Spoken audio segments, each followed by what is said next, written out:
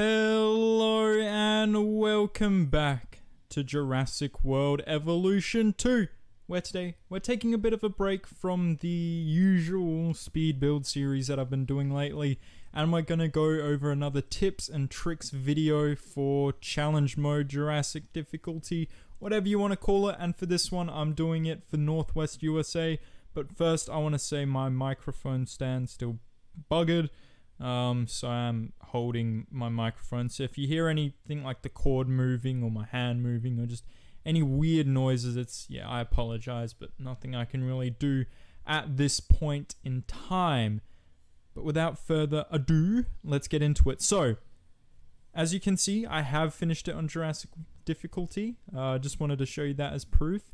But if we go into uh, the thing and then we go to the, you know, Jurassic difficulty level, um, you'll first notice that I did not make part-time and I want you to know that that is okay. As you saw on the previous screen, I still unlocked my rewards. The part-time does not matter. Ignore it. You'll be okay. I've said that in every one of my tips and tricks videos. It's fine. It's okay. Ignore it. Okay? We got that? So, starting cash is 4.5 million, which I believe is the highest of any map, so that's pretty good. Uh, general and adventure guests only. Not too bad. Adventure guests are probably the hardest to bring in your park. Not really, though. They're all, all guest types quite easy. Uh, but they rely on tours and lagoons and uh, infamy and stuff. Infamy is kind of annoying to get, but um, tours and that that's fine. Um, so that you know that's not too much of a problem. Limited herbivores, so the only herbivores you have are Struthiomimus, Draco rex, and Homalocephale. Um, it gets to a point when you're not even using those guys. Uh, feeders are unlocked at 2.5 stars, which is a doozy. That's probably one of the hardest things about this. And then max emergency, max of five emergency shelters, which again is is not that bad. Um, I'm gonna go in game though, just to show you how my park looked. And uh, what am I doing? So I want to go back, but also um, while we wait for this to load. I'm gonna say that this was, in my opinion, so far out of the four that I have done, this has been the hardest challenge mode map yet because A of that 2.5 star feeder unlock thing makes it really frustrating. Um, but also because it's carnivores only, and yes, you can still use lagoons and aviaries, it's pretty much carnivores only. Like I said, I'm pretty sure I used Draco Rex, but I never used Struthiomimus after 2.5 stars.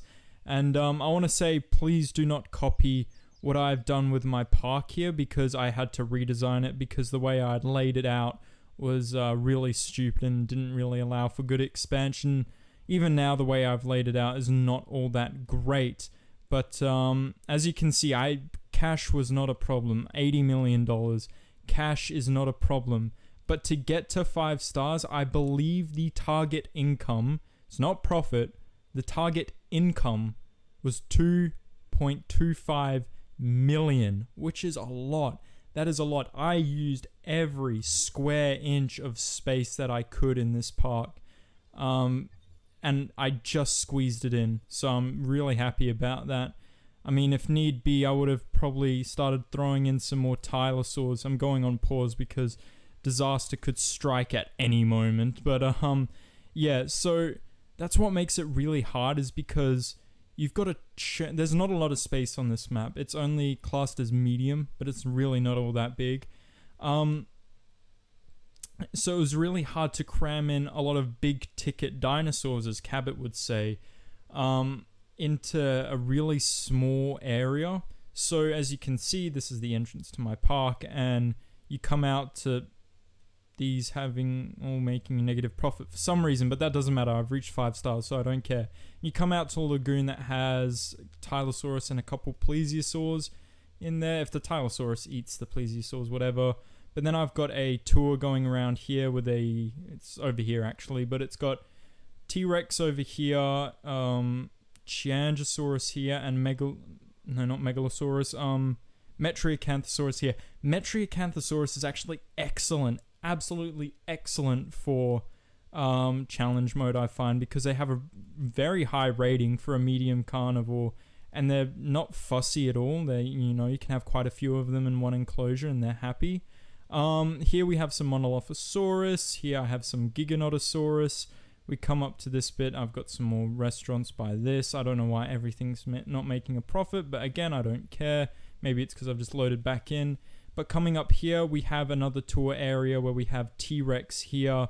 We have uh, Ceratosaurus here, uh, Allosaurus here, and then I believe Baryonyx over here. When we come over this way, we've got another lagoon with the, uh, which is the same as the last one. And then we've got Carnotaurus over here.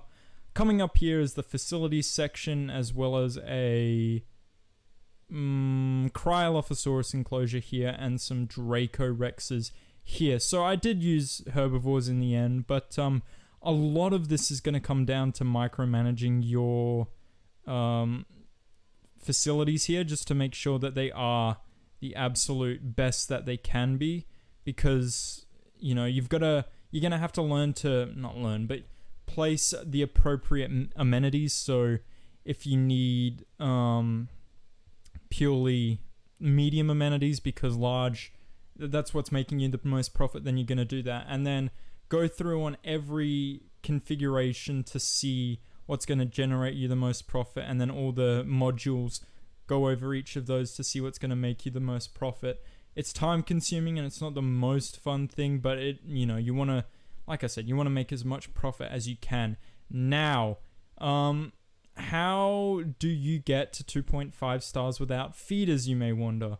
Well, you're not gonna, you know, you don't unlock Draco Rex, which is a pretty decent herbivore. If I do say herbivore, if I do say so myself, you're not gonna unlock that to one and a half stars, I believe, and it's gonna be hard to get to one and a half stars purely off of Struthiomimus, especially at the beginning when you don't have a lot of cash, you're not making a lot of cash. But attractions are going to be your godsend. They're going to be your absolute best friend. Research as much as you can on attractions just to get as many different ones that you can you can that appeal to uh, general and adventure guests. Do that. That that's what helped me a lot. Once you get to Draco Rex, start releasing some of them and build up. If it's taking too long, what you can do, and this is what I did, make some say medium carnivores or like you know make any sort of carnivore you're probably only going to have small and mediums at this point but i'd go with mediums because small generally prefer meat and uh, the large you know medium and large prefer prey and what you can use in place of prey is other dinosaurs like Struthiomimus. I think by the time I'd got to 2.5 stars, I had released over 120 Struthiomimus, trying to feed some Changosaurus, some Carnotaurus, and some Ceratosaurus. Um, so really, you're gonna be releasing and using a lot, a lot, a lot, a lot of Struthiomimus. Um, but you know, you get there eventually. Once you get there, it's like a whole weight off your shoulders. Finally, you don't have to do any of that. Um, annoying thing, they've now got chronic stress for lagoon animals, so uh, no more can you pack three Tylosaurus into a small uh, lagoon like this, which is a bit of a shame, but oh well. They did make some other quality of life improvements with uh, Paleo Medical Facility, you know, medicating the dinosaurs themselves, or being all autonomous unless there's a major injury. The goddamn T Rexes, though, were so annoying. They were always fighting. I had no, no problems with any other dinosaur except the T Rexes. It was only the T Rexes. So, uh, just make sure there's um, one's got a higher dominance than the other, or you know, there's one creature in every enclosure that's got a higher dominance than the others, so they're just not going to be fighting. But um, so yeah, I've explained how the 2.5 uh, star feeder thing. Um, I wouldn't go for lagoons until you have feeders, even though you unlock them at two stars, I believe. I'd say maybe research them, have them researched, have the creatures ready to go um, but wait until you're actually at 2.5 stars so you don't get that chronic stress disease and you know the good thing about uh, the adventure and uh, general guests is they, they don't care too much about dinosaur comfort whereas with nature guests the higher the comfort of the dinosaurs is the more nature guests you're going to get Um, so that's not too much of a problem if they're say at like 80% or something, whereas uh, it may be a bit more of a pro- problem when you've only got nature guests. Um, what else? The five shelter thing.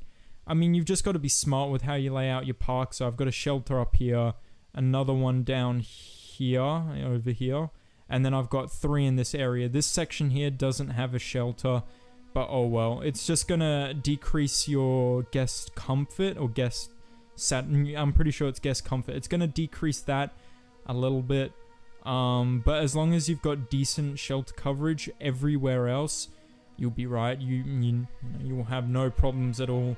Um, yeah. So as long as you can keep your guest comfort and satisfaction as high as it possibly can, um, you're gonna get lots of guests in your park. Try and get that appeal up so you get more guests coming. And um, yeah, I can't think of anything else to say. But if you guys still have any questions about this one just leave a comment and um, I'll get back to you. I'll explain uh, what's going on. Um, so yeah, that's going to do it for this one. So thank you all so much for watching. I really hope you enjoyed. This was a bit of a longer one. Please like and subscribe and I'll see you in the next one. Ciao!